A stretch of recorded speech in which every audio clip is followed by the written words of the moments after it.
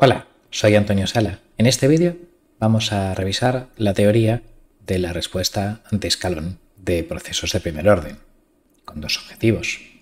Bien dado el proceso, describir cómo será la respuesta, o bien dado un experimento, ajustar un proceso por identificación experimental. Un proceso lineal de primer orden puede ser descrito por esta ecuación diferencial, por ejemplo, y claro, si hago transforma de Laplace y condiciones iniciales nulas, sale esto. De modo que su función de transferencia es esta de aquí. ¿Cuál es su respuesta ante un escalón de amplitud A a partir de t mayor que 0 y condiciones iniciales nulas?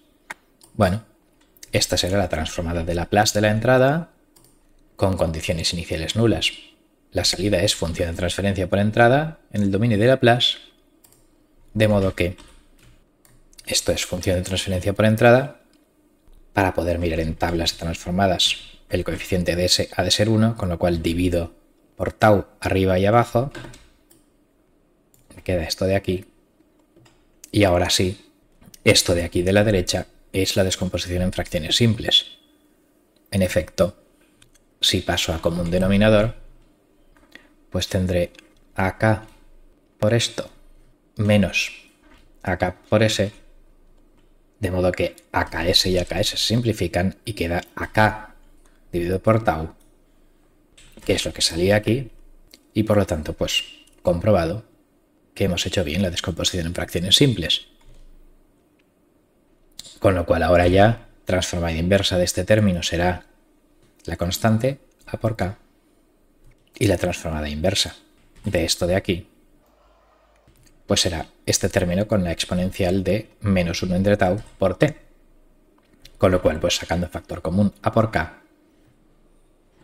tenemos esta expresión muy famosa de la respuesta ante escalón de un sistema de primer orden lineal con condiciones iniciales nulas. Ahora luego haremos una gráfica, claro. Ahora vamos a resaltar que hay determinados valores de tiempo que son especialmente famosos. Concretamente, si yo sustituyo el tiempo por el numerito tau que multiplica s, pues da esta expresión acá por 1 menos e elevado a menos 1, claro, porque tau entre tau es menos 1. Si lo sustituyo por 3 tau, pues entonces 3 tau entre tau da 3 y da acá por 1 menos e elevado a menos 3. Y por último, si sustituyo por 4 tau, pues 4 tau entre tau, pues da acá por 1 menos e elevado a menos 4. ¿Y por qué hemos escogido esos múltiplos de tau para recuadrar? Pues porque si evalúo este numerito que multiplica a a por k, aquí, aquí y aquí, pues da 0,63, o sea, un poco grosso modo como dos terceras partes del valor final a por k, cuando t tiende a infinito pues esta exponencial desaparece, el valor final es a por k, y esto es grosso modo algo así como dos terceras partes del valor final, esto es el 95% del valor final y esto es el 98% del valor final. Con lo cual son fórmulas fáciles de recordar, 63, 95, 98%, de cosas que se pueden ver fácilmente en una gráfica. Aquí tenemos recuadrado en azul esta conclusión y vamos a ver en un ejemplo qué significa lo que hemos sacado. Vamos a hacer la respuesta de 7 entre 5s más 1 ante un escalón unitario.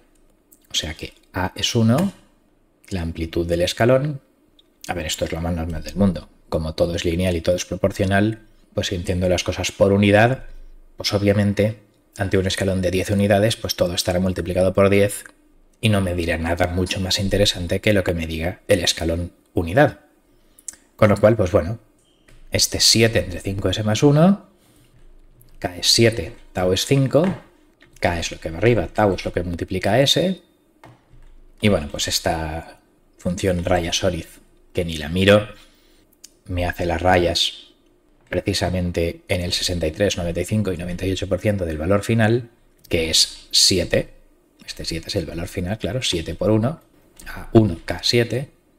Y como tau es 5, pues las rayas verticales me las hace en tau, 3 tau y 4 tau para comprobar esta fórmula. Es meramente cosmético y por tanto no voy a mirar el código MATLAB que lo hace. Rayas horizontales y verticales que cualquiera podríais hacer con una regla y una calculadora para hacer el porcentaje del 63% de 7. Bueno, pues este es el resultado de la respuesta. Entonces vemos que los sistemas de primer orden, pues efectivamente tienen un transitorio no oscilatorio que va de un sitio a otro, que empiezan enseguida a subir en cuanto yo toco las cosas, y que efectivamente este sistema, su valor final es de 7, k por 1, cuando han pasado igual de segundos que el numerito que multiplica S, tau 5, llega al 63% de 7, un poco pues 7 por 6, 42, pues eso, 4,3 o por ahí. Este es el primer punto calculado, que cuando ha pasado tres veces tau, 3 por 5, 15, aquí está en 15 segundos 3 tau, llega al 95% de 7, que es 6,65, aquí está. Y cuando ha pasado 5 por 4, 20, pues llega al 98, no sé qué por ciento de 7. Aquí lo tenemos marcado. De modo que, grosso modo, cuando veamos ejemplos con ruido, donde esto, pues un poco, claro, suba y baje con ruido y así las cosas en los libros no son tan ruidosas como en los experimentos prácticos, bueno, pues más o menos podríamos decirle a un cliente rápidamente que por cada unidad de entrada esto subirá 7 unidades de salida y que tardará entre 15 o 20, 3 tau, 4 tau, unidades de tiempo a acabar el transitorio. Bueno, pues esa es un poco la utilidad de esta fórmula. Viendo el 7 y el 5, yo ya le puedo decir a un cliente todo lo que quiere saber, que es dónde va a llegar y cuánto va a tardar. Porque si no hay oscilaciones, pues es que va a haber una transición de un equilibrio donde estuviera al principio, digamos, estamos en incrementos, o sea, y entonces pues la, la salida pues se incrementará no sé cuántas unidades y tardará no sé cuánto tiempo en ir de uno a otro sin oscilar y ya pues la forma concreta de lo que pasa en medio, mientras no haya subidas y bajadas oscilando raras, en principio eso ya no interesa tanto. Pues un rayajo que va de un sitio a otro. Bueno, pues esto sería el análisis de la respuesta a partir de 7 entre 5s más 1. Análisis rápido, que solo requiere multiplicar lo que multiplica s por 3 o por 4 y ver que este 7 pues, es una constante de proporcionalidad para decir dónde va a acabar. Por lo tanto, con eso, incluso alguien que no sepa lo que es la transformada Laplace puede entender qué significan estos sistemas de primer orden y por eso es importante lo que estamos diciendo aquí. Es como explicarle a alguien cómo funciona esto sin hablar de ecuaciones diferenciales, derivadas integrales o transformadas de Laplace. Va de tal a tal sitio en tanto tiempo.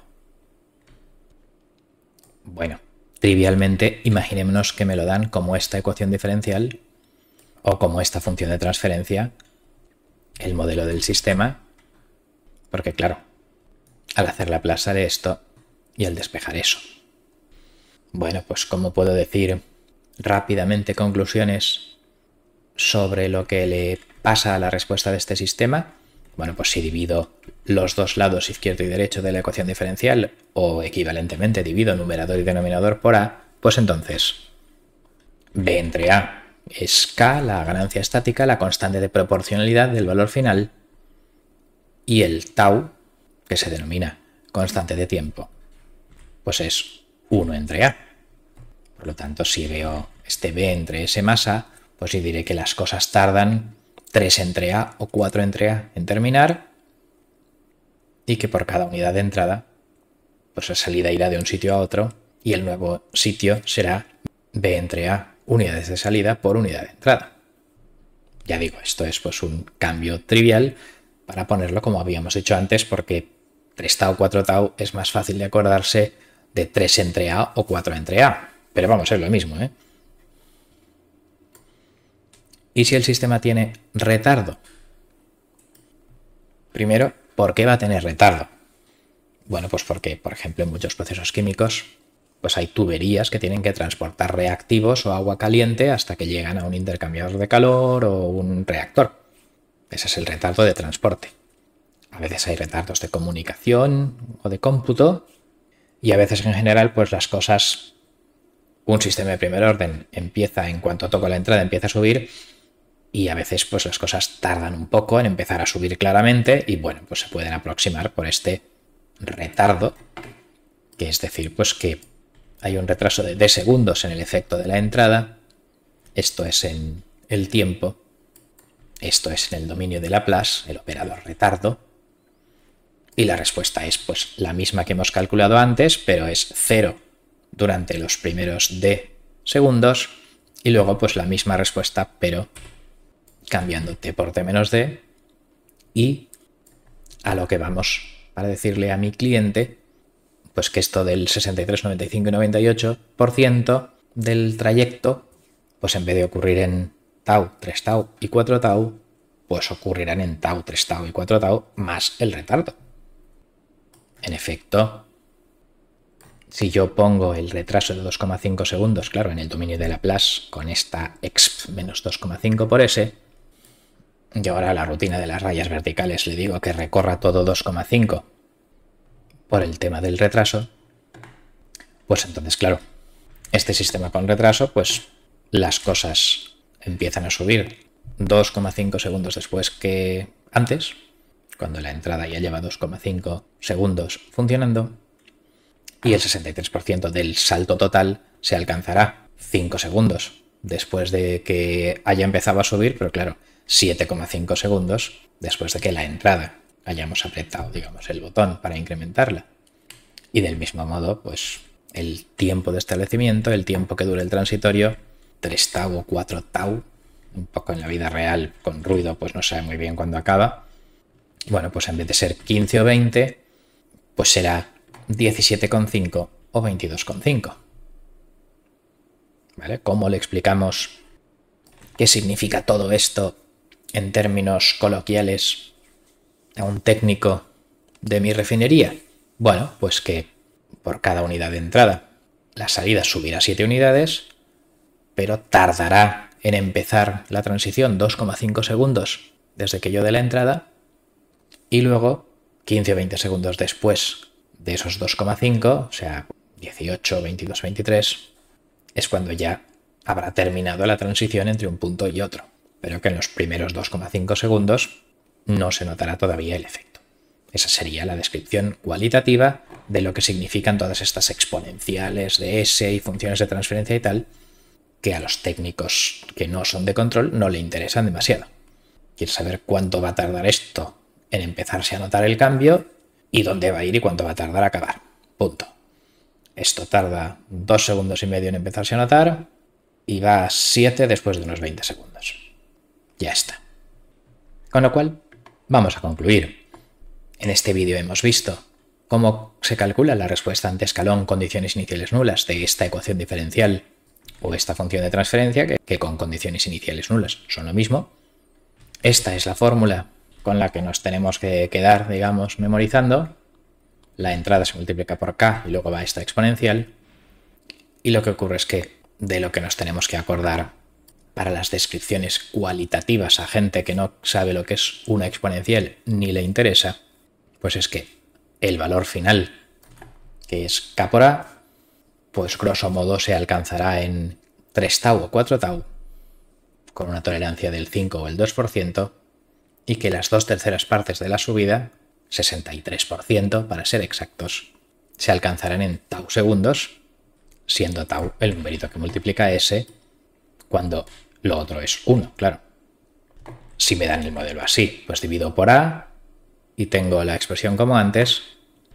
Y si mi modelo tiene retardo, tarda de segundos en empezar a subir y las cosas interesantes pasan de segundos más tarde que si no hubiera retardo. De modo que gracias a estas fórmulas, mirando el 2,5, el 7 y el 5, yo le puedo describir rápidamente a alguien qué es lo que va a pasar cuando apriete un botón e incremente de golpe la entrada. Bien, pues esto es todo. Muchas gracias por vuestra atención.